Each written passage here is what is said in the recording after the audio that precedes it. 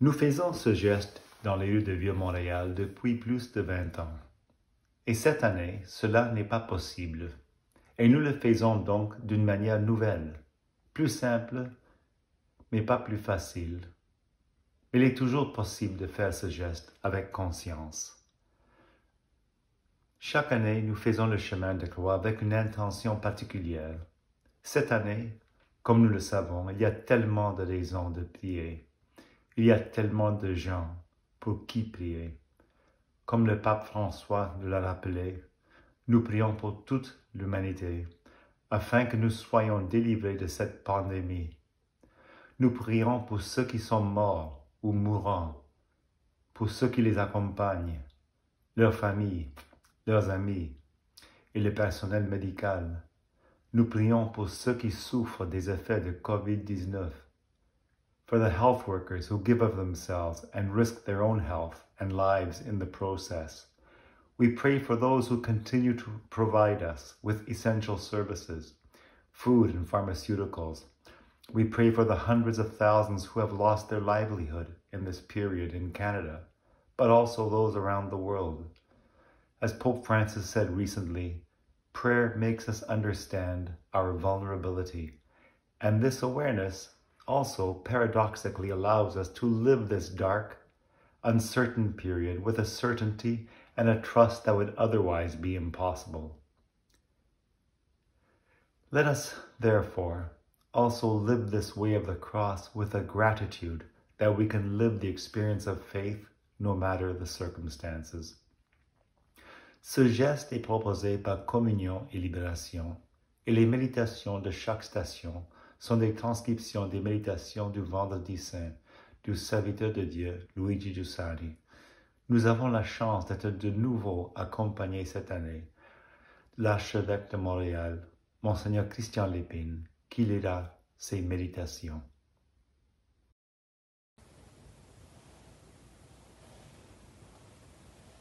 En Jésus-Christ, la parole de Dieu s'est faite chair.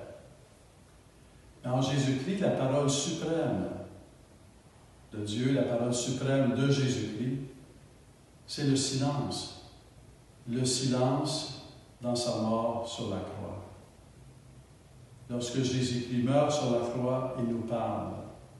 Lorsque Jésus-Christ est en silence sur la croix, le silence de sa mort, il nous parle. Apprenons à écouter le silence de Dieu. Apprenons à écouter le silence de Jésus-Christ dans sa mort sur la croix.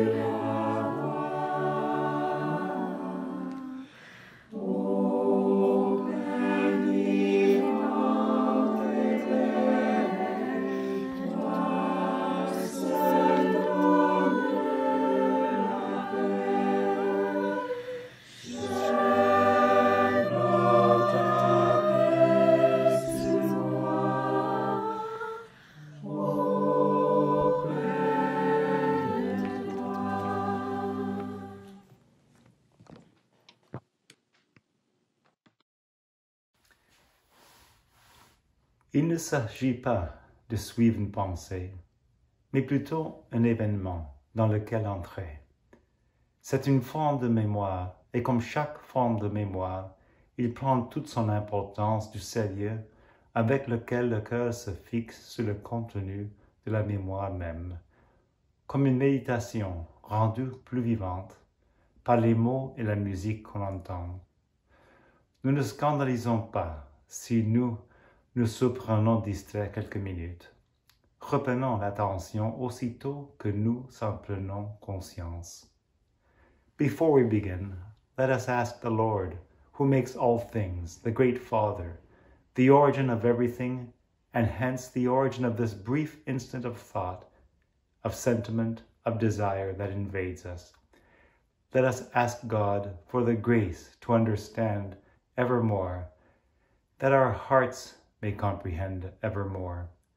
Help us that we not fall short, that the ultimate evidence not be obscured within us like a darkness that hides the evidence of truth.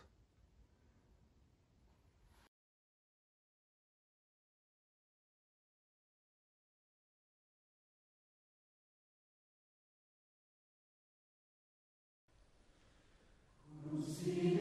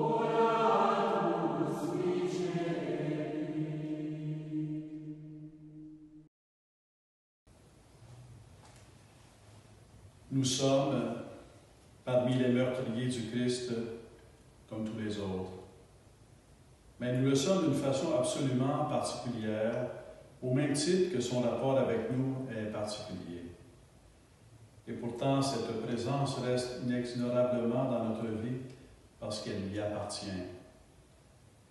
The Lord, in His mercy, has chosen us, has forgiven us, has embraced us again and again. He has taken up of our sins upon himself. We are already forgiven. He must manifest himself how? Through my heart that welcomes him, that acknowledges him. This is so simple, yet there is nothing so divine in the world, nothing more miraculous. There is no greater foretaste of the ultimate and eternal evidence.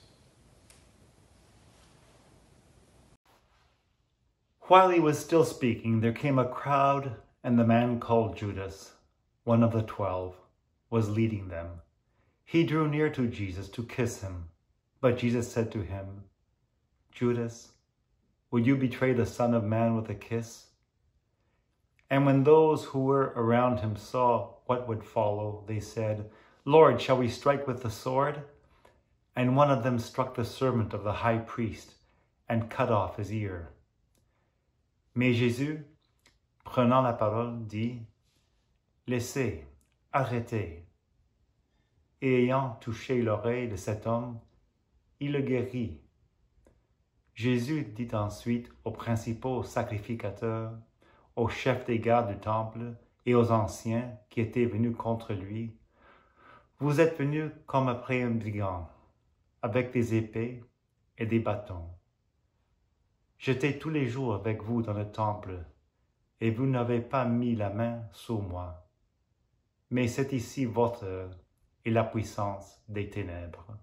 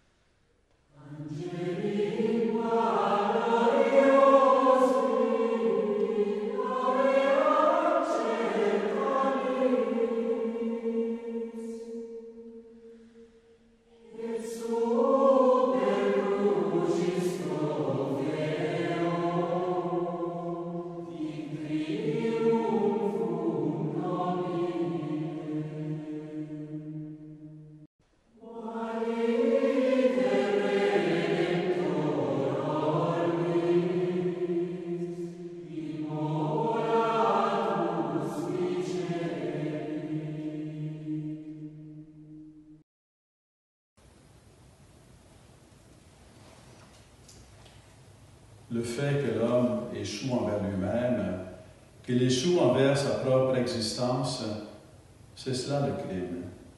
Quel poids imposant assume le mot péché. Et on comprend une telle parole à partir de son origine, de sa racine qui est l'oubli de toi, Père.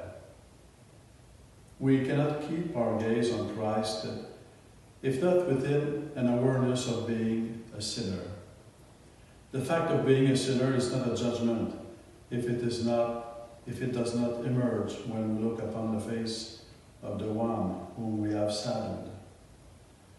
Nevertheless, our days are dominated by distraction because the heart remains distracted. And we are full of claims and pretensions in all that we do. Le Christ en croix est le péché condamné par le Père. La croix du Christ est l'explosion de la conscience du mal. Nous entrons en rapport avec le Christ par la conscience que nous avons du péché. C'est ici que se réalise en nous sans fin la chute. Dans l'absence de la conscience du péché et dans la fausse conscience du péché. Celui qui a la conscience de son propre péché a aussi la conscience de sa libération. The governor's soldiers took Jesus with them into the praetorium and collected the whole cohort around him. Then they stripped him and made him wear a scarlet cloak. And having twisted some thorns into a crown, they put this on his head and placed a reed in his right hand. Et, s'agenouillant devant lui, ils se moquèrent de lui en disant Salut, roi des Juifs Et crachant sur lui, ils prenaient le roseau et en frappaient sa tête. Puis, quand ils se furent moqués de lui, ils lui posaient la, la lui remirent ses vêtements et les menèrent pour le crucifier.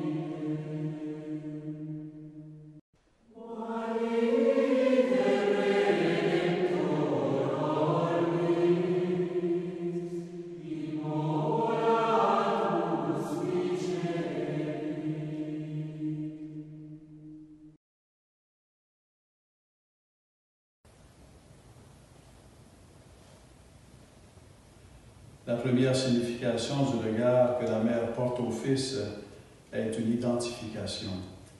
Qui aurait cru que le Créateur, pour que nous vivions le rapport avec toutes choses, aurait dû les perdre pour ensuite les regagner? Sa mère l'a cru immédiatement. O Virgin, make us share in the awareness with which you looked upon your Son as he died, alone, abandoned on the cross. You watch your Son walk with those for whom he came to die, alone.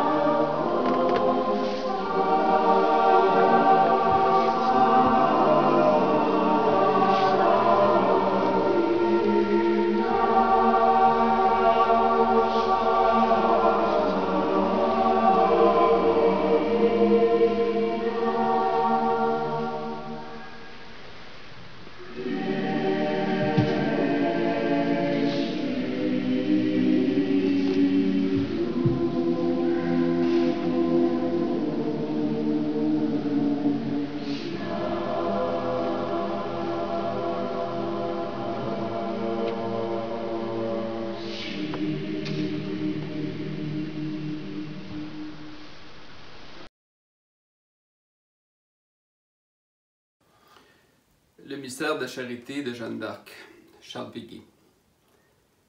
Tout le monde était contre lui, tout le monde était pour sa mort, pour le mettre à mort, voulait sa mort. Des fois, on avait un gouvernement pour soi et l'autre contre soi. Alors on pouvait en réchapper. Mais lui, tous les gouvernements, tous les gouvernements d'abord, et le gouvernement et le peuple, c'est ce qu'il y avait de plus fort, c'était ça surtout qu'on avait contre soi, le gouvernement et le peuple, qui d'habitude ne sont jamais d'accord.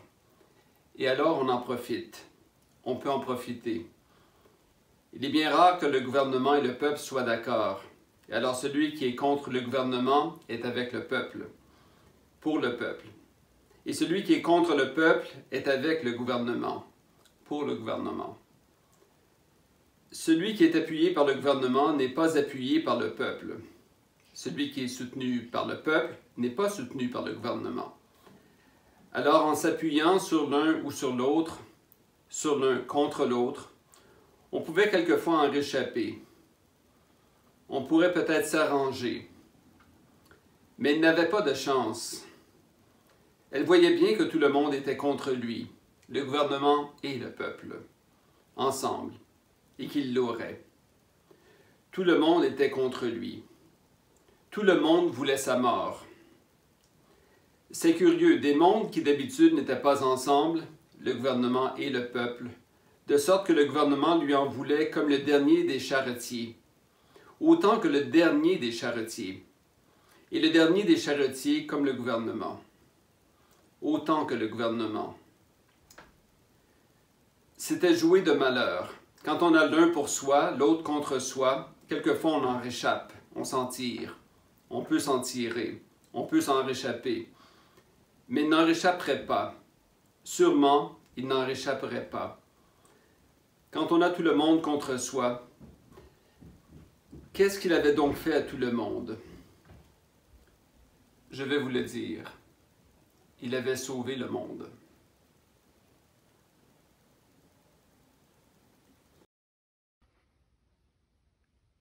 Pilate then called together the chief priests and the rulers and the people, and said to them, You brought me this man as one who was misleading the people. And after examining him before you, behold, I did not find this man guilty of any of your charges against him. Neither did Herod, for he sent him back to us. Look, nothing deserving death has been done by him. I will therefore punish and release him. But they all cried out together, Away with this man, and release to us Barabbas, a man who had been thrown into prison for an insurrection started in the city, and for murder. Pilate leur parla de nouveau, dans l'intention de relâcher Jésus. Et ils crièrent, Crucifie, crucifie-le. Pilate leur dit pour la troisième fois, Quel mal a-t-il fait je n'ai rien trouvé en lui qui mérite la mort. Je le relâcherai donc, après l'avoir fait battre de verge. Mais ils insistèrent à grands cris, demandant qu'il fût crucifié. Et leurs cris l'emportèrent. Pilate prononça que ce qu'il demandait serait fait. Il relâcha celui qui avait été mis en prison pour sédition et pour meurtre, et qui le réclamaient. Et il livra Jésus à leur volonté.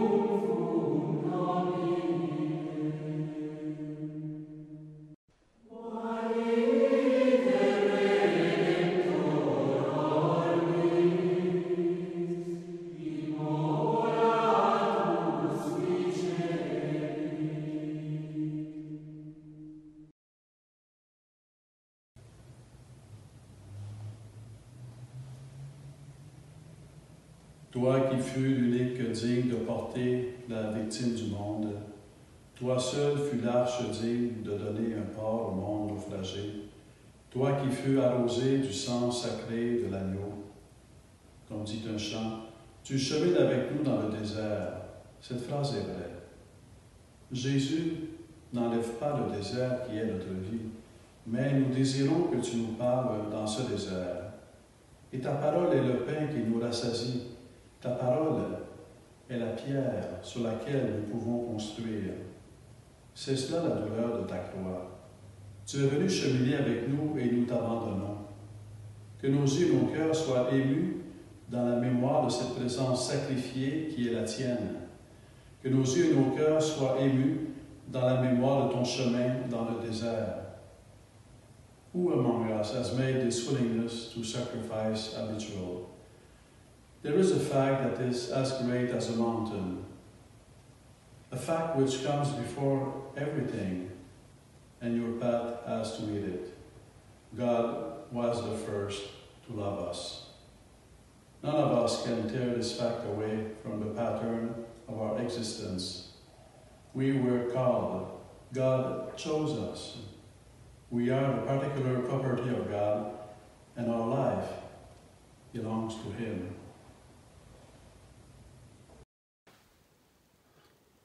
Le mystère de la charité de Jeanne d'Arc, Charles Péguy. Sa mère trouvait cela très bien. Elle était heureuse. Elle était fière d'avoir un tel fils, d'être la mère d'un pareil fils, d'un tel fils. Elle s'en glorifiait peut-être en elle-même et elle glorifiait Dieu.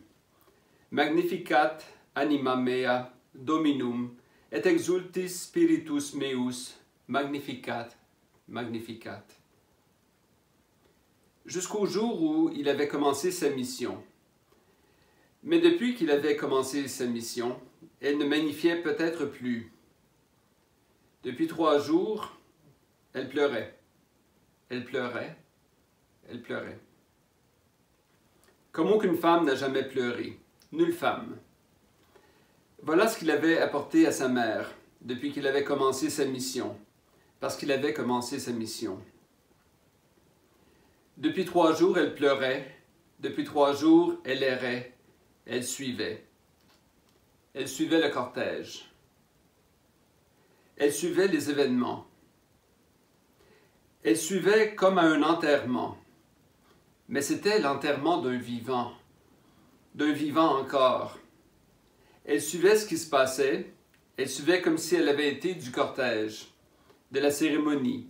Elle suivait comme une suivante, comme une servante, comme une pleureuse des Romains, des enterrements romains, comme si ça avait été son métier de pleurer. Elle suivait comme une pauvre femme, comme une habituée du cortège, comme une, comme une suivante du cortège, comme une servante, déjà comme une habituée. Elle suivait comme une pauvresse, comme une mendiante. Eux qui n'avaient jamais rien demandé à personne, à présent elle demandait la charité. Sans en avoir l'air, elle demandait la charité, puisque sans en avoir l'air, sans même le savoir, elle demandait la charité de la pitié, d'une pitié, d'une certaine pitié, pietas. Voilà ce qu'il avait fait de sa mère depuis qu'il avait commencé sa mission. Elle suivait, elle pleurait, elle pleurait, elle pleurait. Les femmes ne savent que pleurer. On la voyait partout, dans le cortège, mais un peu en dehors du cortège, sous les portiques, sous les arcades, dans les courants d'air, dans les temples, dans les palais, dans les rues, dans les cours, dans les arrière-cours. Elle était montée aussi sur le calvaire. Elle aussi avait gravi le calvaire, qui est une montagne escarpée. Et elle ne sentait seulement pas qu'elle marchait, elle ne sentait seulement pas ses pieds qui la portaient, elle ne sentait pas ses jambes sous elle, elle aussi, elle avait gravi son calvaire. Elle aussi, elle avait monté, monté, dans la cohue, un peu en arrière, monté au Golgotha, sur le Golgotha, sur le fait, jusqu'au fait, où il était maintenant crucifié, cloué, des quatre membres, comme un oiseau de nuit, sur la porte d'une grange. Lui, le roi de la lumière, au lieu appelé Golgotha, c'est-à-dire la place du crâne. Voilà ce qu'il avait fait de sa mère maternelle, une femme en larmes, une pauvresse, une pauvresse de détresse, une pauvresse en détresse, une espèce de mendiante de pitié.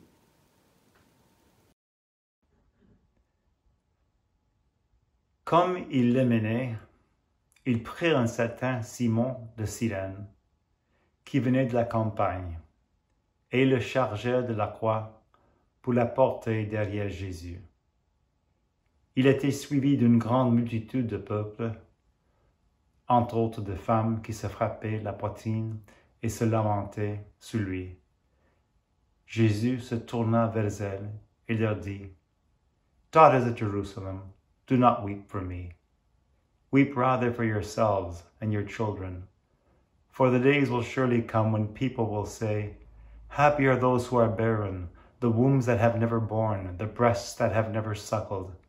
Then they will begin to say to the mountains, Fall on us, to the hill, cover us. For if men use the green wood like this, what will happen when it is dry?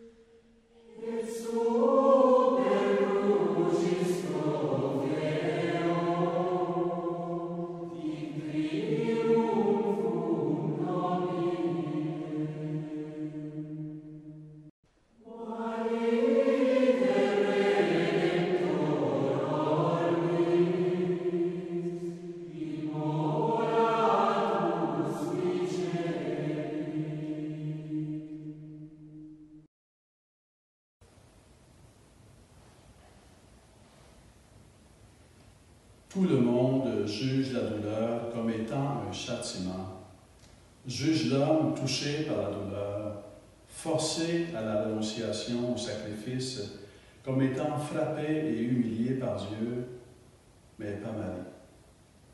Comme il était clair dans son cœur, crucifié avec celui du Christ, que le châtiment qui nous donne le salut, qui exalte la vie, s'était abattu sur lui, et pour cela Dieu l'a exalté. Il lui a donné un nom qui est au-dessus de tous les autres noms. Fac ut ardeat cor meum in amando Christum Deum ut sibi complaceam. Fais en sorte que mon cœur brûle en aimant le Christ Dieu, afin que je lui plaise. Make my heart burn in loving Christ, God, that I might be pleasing to him. This is the great moral law. Here we see the great moral law, which is the source of morality. To be pleasing to the mystery, pleasing to this crucified man, pleasing to the mystery of God, who became man and was crucified for me and resurrected that I might be freed.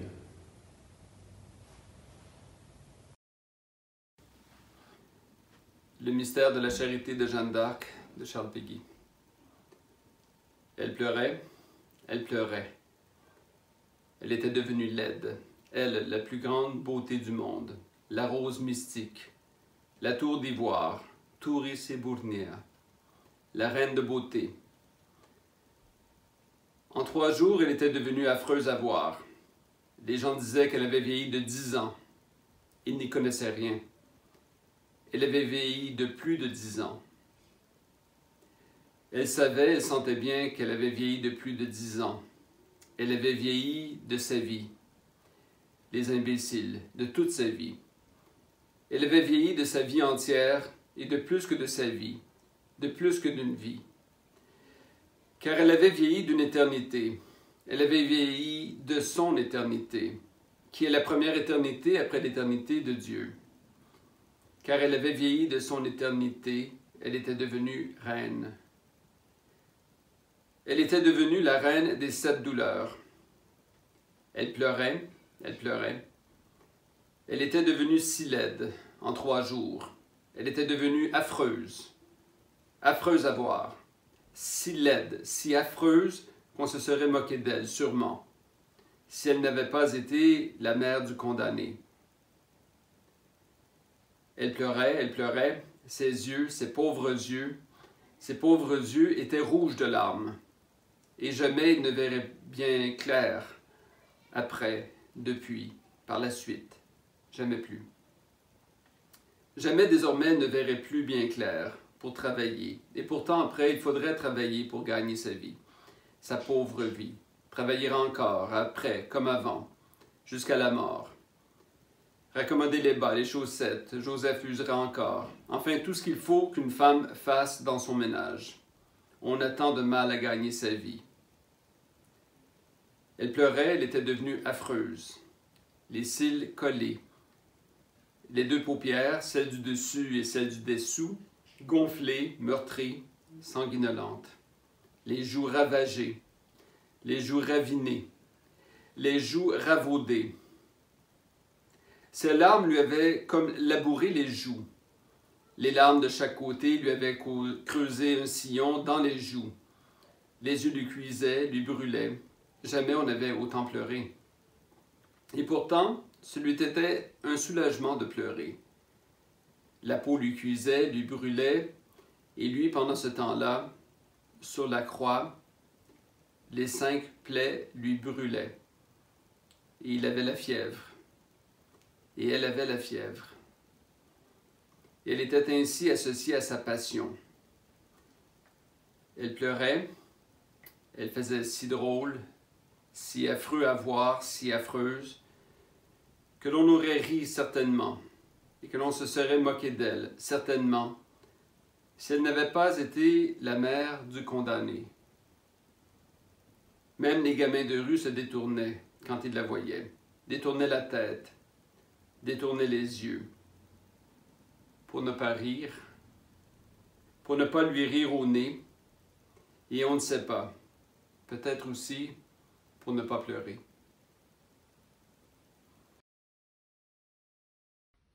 Two others who were criminals were led away to be put to death with him. And when they came to the place that is called the skull, there they crucified him and the criminals, one on his right and one on his left. And Jesus said, Father, forgive them, for they know not what they do. And they cast lots to divide his garments. And the people stood by watching, but the rulers scoffed at him, saying, He saved others, let him save himself, if he is the Christ of God, his chosen one. The soldiers also mocked him, coming up and offering him sour wine, and saying, If you are the king of the Jews, save yourself. There was also an inscription over him, This is the king of the Jews. L'un des malfaiteurs crucifiés l'injuriait, disant, Es-tu pas le Christ Sauve-toi toi-même et sauve-nous. Mais l'autre le reprenait et disait, Ne crains-tu pas Dieu, toi qui subis la même condamnation? Pour nous c'est justice, car nous recevons ce qu'ont mérité nos crimes.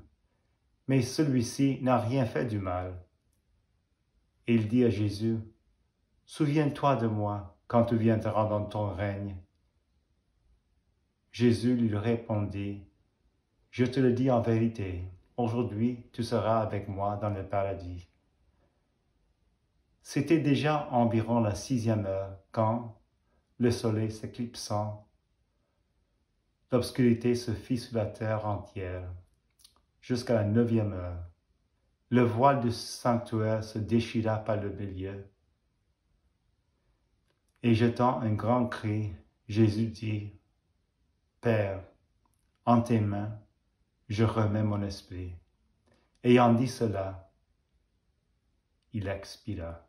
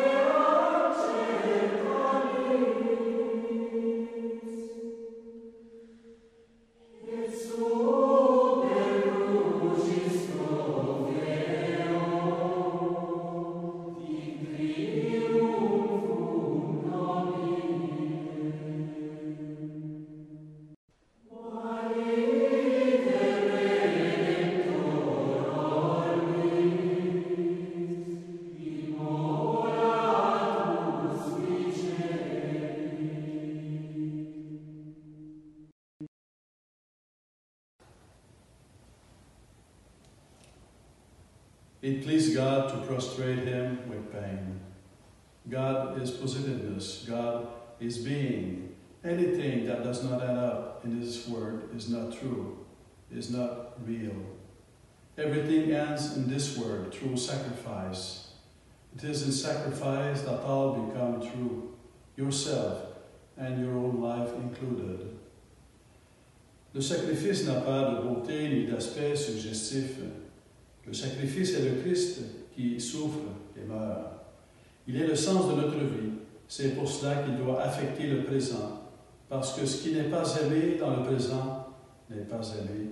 Et ce qui n'est pas affirmé dans le présent n'est pas affirmé. Si nous portons attention à nos journées, à chaque occasion de sacrifice imposée par vocation, que nous appuyons réellement, nous nous percevrons rédempteurs, reconstructeurs de villes détruites, rédempteurs avec le Christ. Alors notre action s'ouvre toute grande avec la présence du Christ, avec le cœur du Christ. Notre vie personnelle perce les horizons et s'ouvre vers l'infini, vers un infini qui, comme la lumière du soleil, pénètre jusqu'au taudis et jusqu'au lieu obscur en renouvelant tout.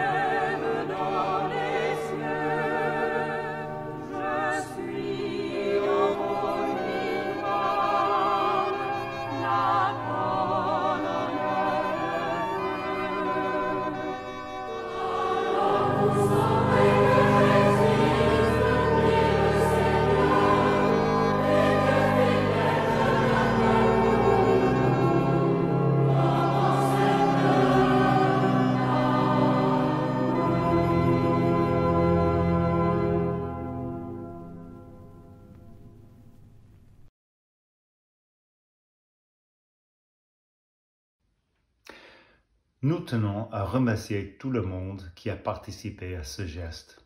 Avant tout, on remercie notre archevêque, Monseigneur Christian Lepine, pour sa présence fidèle, notre chorale, les techniciens qui ont tout préparé.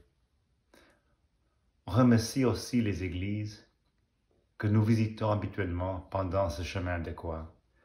Notre-Dame de Bon Secours, la basilique de Notre-Dame, St. Patrick's Basilica, l'Église de Jésus, et la basilique cathédrale Marie-Reine du Monde. Even if we could not visit them, these churches were kind in showing their availability in hosting us this year, had it been possible. In the same way, we wish to thank la Ville de Montréal et le service de police de la Ville de Montréal. They too were very kind in accommodating us before the current circumstances could not make our annual walk possible. Un grand merci à tout le monde. Si vous voulez avoir les informations sur Communion et Libération, vous avez nos coordonnées à la fin, à la fin de ce livret. Merci.